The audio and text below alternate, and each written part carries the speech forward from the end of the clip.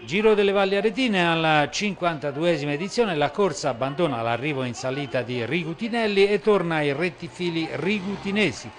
154 eliti under 23 alla partenza in direzione di Cortona con un primo assaggio di salita, poi le veloci strade fino ad Arezzo e via verso il passo della scheggia dove il gruppo è passato estremamente frazionato in plotoncini.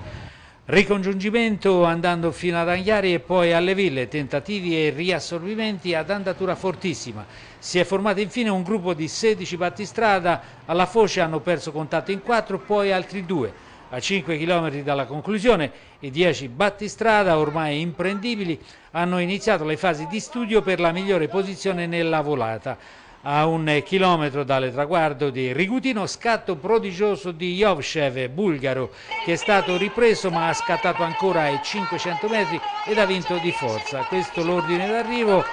Primo eh, Zivkov Jovcev del Cycling Team Friuli ha coperto i 155 km 800 in 3 ore 35 alla media di 43,479, fortissima.